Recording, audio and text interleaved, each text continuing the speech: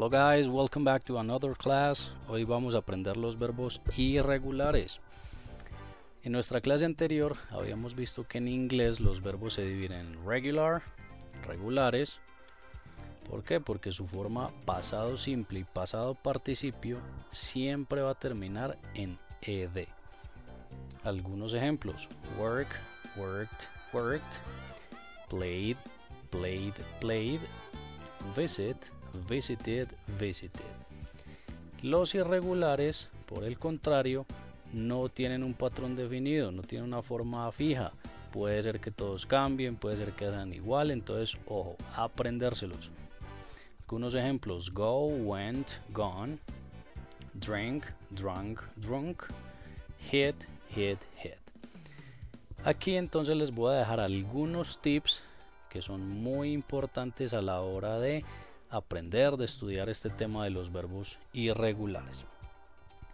Número uno, hay que aprendérselos, no hay fórmula secreta. La gente o en internet siempre les va a dar una recomendación distinta, que de atrás hacia adelante, que por columnas, de arriba abajo. Lo importante aquí es que cada uno vea cómo le queda más fácil aprendérselos. ¿Listo? Number two, Mientras los aprendemos hay que tener la lista a la mano. Yo les voy a dar una listica con unos de los más usados para que la estén consultando permanentemente. 3. No solo aprenderse las tres formas, que practicar poniéndolos en oraciones. De nada sirve saberlos si no podemos utilizarlos en la vida real. Number 4. Aunque hay algunos que son más usados, no nos podemos quedar solo con esos. Hay que ir aprendiéndolos diariamente, semanalmente. Listo, aquí les dejo algunos ejemplos. Entonces tenemos el verbo empezar, begin, began, begun, traer, bring, broke, broke, comprar, buy, bought, bought. Elegir, escoger, choose, chose, chosen. Hacer, do, did, done. Tomar, drink, drunk, drunk. Conducir, manejar, drive, drove, driven. Comer, eat, ate, eaten. Volar, fly, flew, flown. Levantarse, get up, got up, gotten up. Ir, go, went, gone. Tener, have, had, had. Escuchar, hear, heard, heard. No, saber, know, knew, known. Partir, irse, leave, left, left. Poner, put, put, put. Leer, read, read, read. Decir, say, said, said. Ver, see, saw, seen. Sentarse, sit, sat, sat.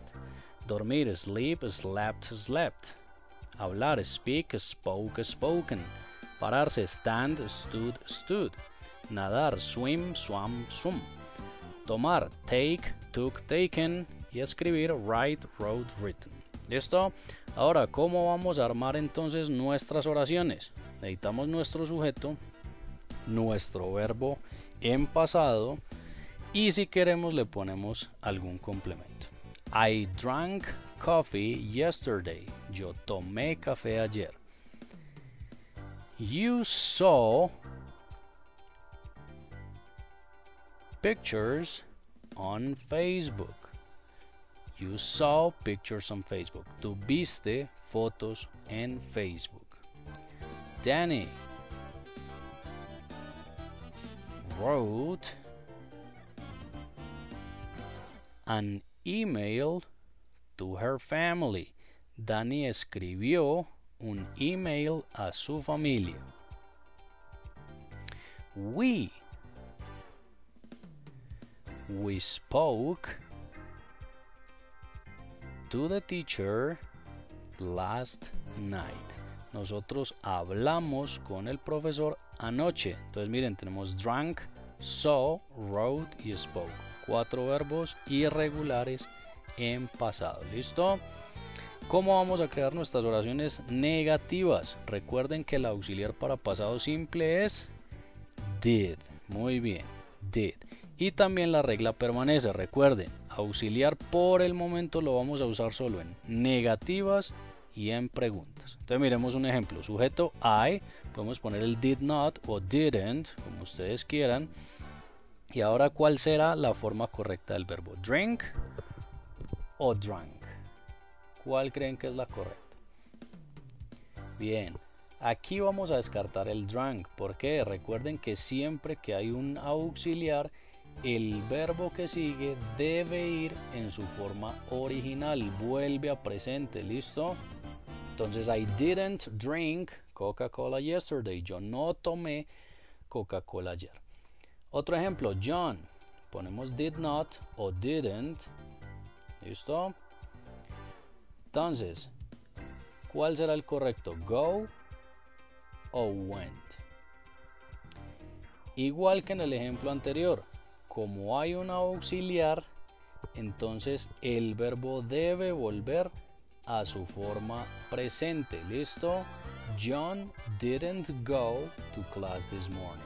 John no fue a clase esta mañana. Oh, esta regla es muy importante. Hay que practicarla mucho para cogerle el tiro. ¿Listo? Ahora, ¿cómo creamos las yes, no questions? Igual que en presente, entonces vamos a poner el auxiliar de primero, did, luego el sujeto, en este caso you, y el verbo cómo irá. El verbo va en su forma normal, o sea, en presente. ¿Por qué? Porque el verbo es modificado por el auxiliar. El auxiliar lo hizo volver a presente. Did you get up at 11 a.m.? ¿Tú te levantaste a las 11 de la mañana? Entonces tenemos, recuerden, respuesta corta y respuesta larga. ¿Cuál sería nuestra respuesta corta? Yes, I did. No, I didn't. Respuesta larga. Yes, I got up at 11 a.m. No, I didn't get up at 11 a.m. ¿Por qué en la primera el verbo está en pasado? Got up. Porque no hay un auxiliar antes, entonces el verbo va en pasado normal. Ahora en la segunda, porque el verbo volvió a presente? Porque tenemos un auxiliar que lo hizo volver a presente. Listo, la oración sigue en pasado, pero el auxiliar lo vuelve a presente. Les dejo estas preguntas para que las contesten ahí en su casa. Pueden ir pausando el video mientras responden. Did you go to the supermarket yesterday? Did you eat a sandwich for breakfast? Did you take your medicine?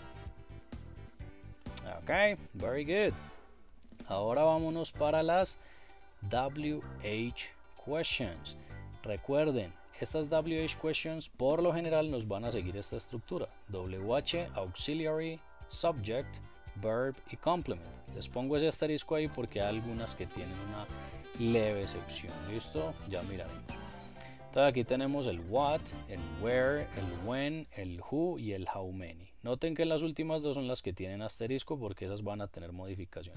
Entonces empezamos por el WH. What? What did you do yesterday? ¿Qué hiciste ayer? Puedo poner I visited my family. Where? ¿Dónde? Where did you go yesterday? ¿A dónde fuiste ayer? I went to the hospital. When? ¿Cuándo? When did you begin to study? ¿Cuándo empezaste a estudiar? Uh, I began to study last week. El who, recuerden, el who no necesita auxiliar, simplemente saltamos al verbo. Entonces, who said that? ¿Quién dijo eso?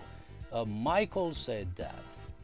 Y con el how many debemos poner el artículo del que estamos hablando. Entonces, how many apples did you eat? ¿Cuántas manzanas comiste?